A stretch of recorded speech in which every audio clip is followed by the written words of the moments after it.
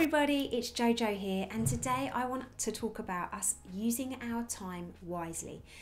I don't know about you, but sometimes when it comes to doing our schoolwork, or if we've got spellings, or if we've got end of topic tests, we can sometimes feel as if we've got so much to do, but actually it can be really hard to get going. So, what I'd like to introduce you to is the word productivity. And sometimes in life, what we need to do is we need to be productive with our time. So instead of knowing all the things that we need to do, and that might be chores around the house, it might be schoolwork, I need us to remember and remind ourselves that we need to take ownership and we need to remind ourselves about the things that we need to do. And in order to achieve them is by being productive. The thing is though with being productive is it's really hard because there's this thing called distractions. And maybe you're using a device right now by watching me that's a distraction from maybe you doing something that needs to be done. So, I've got some top tips for you to consider when you need to do this work and you need to be more productive. My first one is that when you've got work that needs to be done, I want you to prioritize doing that work, okay? Now, it's all very easy to think that, oh, I'll save that until it needs to be handed in. Oh, it doesn't matter about that. But it does because what can happen is that we can be thinking about it or worrying about it at the back of our mind. So, actually, what's really handy is to get what needs to be done and get it done. Okay? Really focus on getting it done.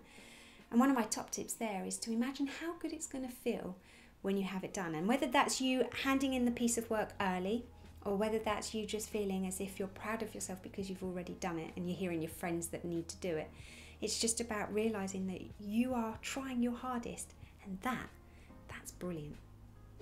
My second one, and I've already mentioned it, is about limiting your distractions.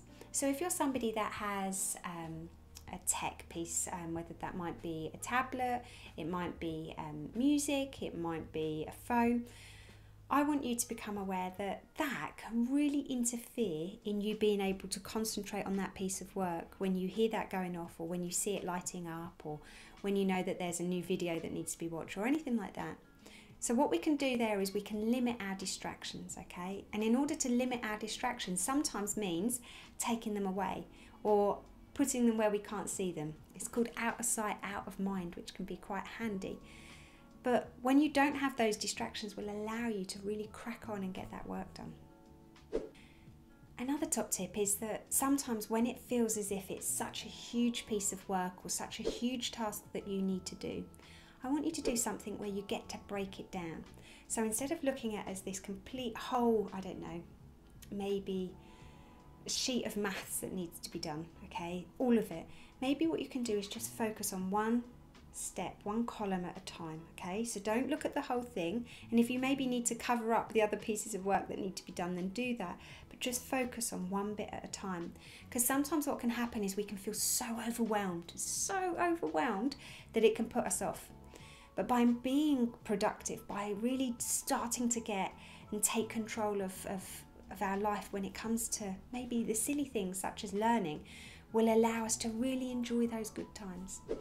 So, yes, there's some goals and some top tips to help you make sure that you boost your productivity, you boost that ability to recognize what's important, but also in order for you to really achieve it and do it, which is sometimes the trickiest bit.